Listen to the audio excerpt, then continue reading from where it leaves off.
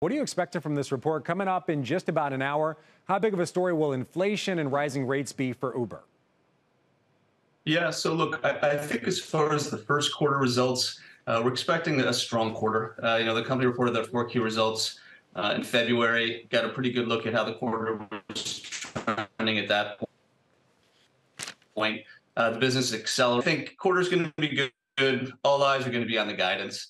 Uh, you know, we're starting to hear in other parts of our coverage universe about uh, how rising inflation and macro pressures are, are starting to impact the consumer uh, a bit more. Uh, and I think you know the the recent uh, kind of activity at Lyft that you touched on uh, will raise investor questions as to maybe we're going to see a little bit of a increased intensity in the competitive environment in the U.S. rideshare business. So I think all eyes are going to be on the outlook. Yeah, we'll get to Lyft in a minute, but I, I want to continue on this thread about inflation and where the consumer is right now. Which part of Uber's business do you see being more impacted by a consumer spending slowdown? Because we keep hearing about this shift from goods to services. Technically, isn't food delivery and also rideshare, aren't those services?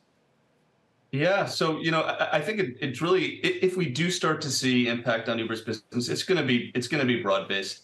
Uh, you know, this this resiliency in in services spending that you touched on uh, certainly is going to help Uber, but uh, could you start to see signs of of folks uh, trading down? Maybe is the way I would describe it. So. Uh, you know, maybe not taking the Uber XL, uh, you know, taking the Uber X.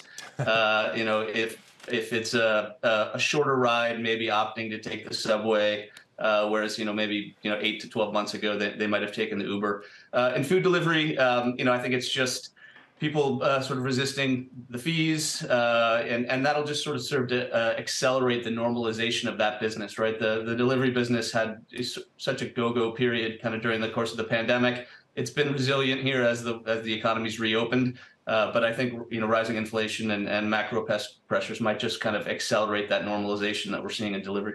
All right, let's talk about the competitive landscape. So Uber has about three quarters of the market. Lyft has about a quarter, rough, give or take.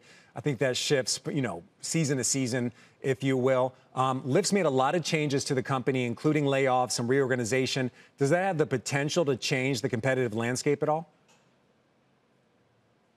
Yeah, you know, we'll see. Uber has benefited from, uh, I'd say, a, a, very sanguine kind of competitive dynamic in U.S. rideshare over the last several quarters, uh, and and and that's uh, you know played right to Uber's strengths. As you said, they've been uh, eating into uh, market share uh, by competitors. Lyft is look seemingly going to make some big changes here. you referenced the job cuts; those cuts are going to fund, we think, lower investments in lower prices for riders probably more aggressive incentives for drivers to make sure that you know wait times for riders and the overall kind of customer experience for Lyft riders is better. Uh, so you know it, it's probably a little bit too early to say that um, you know Uber's uh, going to see an impact. You know.